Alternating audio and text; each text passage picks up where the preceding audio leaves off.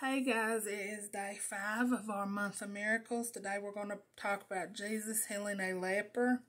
And we're going to read this out of the book of Mark, chapter 1, verses 40 through 45. Okay.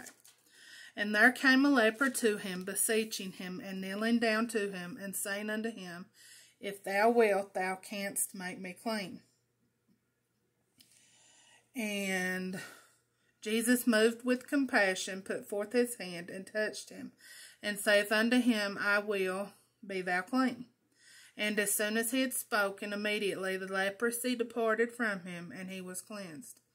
And he straightly charged him, and forthwith sent him away.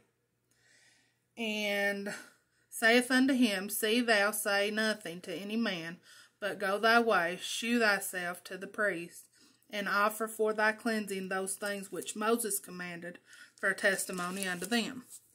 But he went out and began to publish it, it much, and to blaze abroad the matter in so much that Jesus could no more openly enter into the city, but was without in desert places, and they came to him from every quarter.